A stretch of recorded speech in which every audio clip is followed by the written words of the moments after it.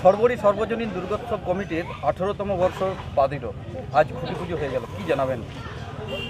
আজকের এই শুভ দিনটিকে আমরা বেছে দিয়েছি এবং আমাদের প্রতি বছর না, এই বছরও খুঁটি পূজার মাধ্যমে মায়ের আরাধনার জন্য আমরা প্রথমেই আজকে খুঁটি পুতলাম, পুজো অর্চনার মধ্য দিয়ে।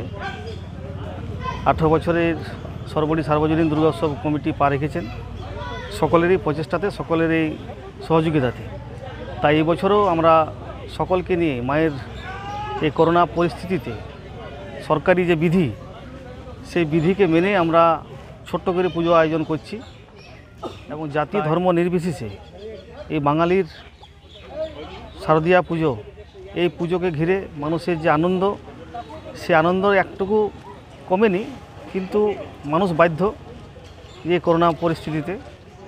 তাই ছোট ছোট করে আমরা আলোকসজ্জা যেমনই হয় সেগুলো আমরা করব। কিন্তু আমি বারবার করেই বলছি যে সরকারি আইনি বাধা মেনেই আমরা পুজো করব যাতে কারোর কোনো অসুবিধা না হয় এবং আমরা স্যানিটাইজ মাস্ক সমস্ত বিষয়গুলো মাথায় রাখব।